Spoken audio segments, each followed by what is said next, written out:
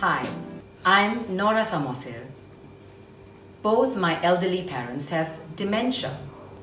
Dementia is fast becoming a global health issue, especially here in Singapore.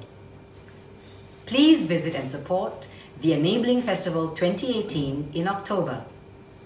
I believe the day will come when dementia will be nothing but a distant memory.